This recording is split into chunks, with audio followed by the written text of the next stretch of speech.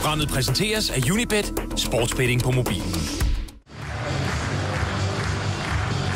Jakob Poulsen, øh, på lørdag gælder det OB. Inden vi lige kigger frem mod den kamp, kan jeg godt tænke mig lige at, at kigge tilbage på, på i lørdags mod OB. Øh, resultatet blev ikke, som vi havde håbet, men øh, fuld hus på MSH Arena, en fantastisk opbakning. Øh, Hvordan oplevede du det? Ja, men det var jo super. Altså, det var, det var helt fantastisk. Super opbakning, og ja, det er dejligt. Og ja, hvis det kunne være sådan hver gang, så ville det være, en, være, så ville det være fedt og sådan nogle ting. Men øh, det er også forståeligt nok, at der ikke altid der kommer så mange mennesker.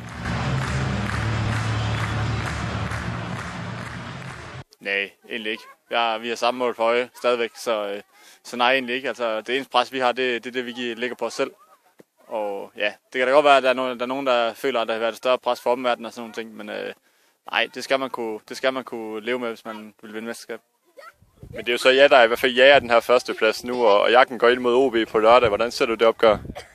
Nå, jamen altså, det er jo en kamp, vi skal ud og vinde jo. Altså, ja, det bliver, det bliver en svær kamp, for den her liga, den er jo fattelig lige.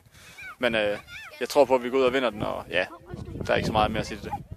Og I har så også revanche til gode fra, fra den første kamp her i foråret. Hvordan skal I hive sejren mod OB? Nå, men det skal vi gøre på de samme måde, som vi egentlig har spillet størstedelen af de tre sidste kampe mod Nordsjælland og Randers og, og OB.